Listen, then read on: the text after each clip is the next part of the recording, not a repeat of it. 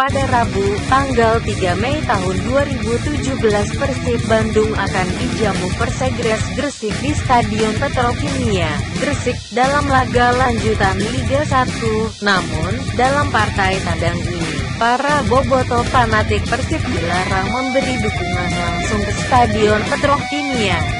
Alasannya adalah stadion tersebut sedang direnovasi sehingga tidak memungkinkan bisa menampung Boboto jika memaksakan datang.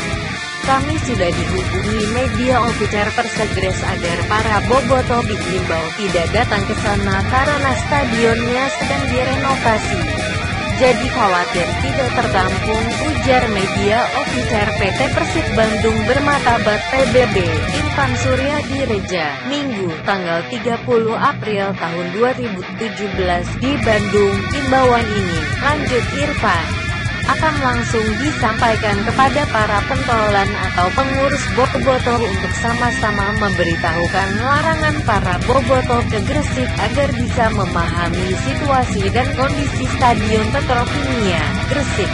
Lebih baik mengadakan nonton bareng saja atau nonton di rumah masing-masing karena datang ke sana juga akan percuma. Jauh-jauh ke sana tidak masuk, ujar Irfan.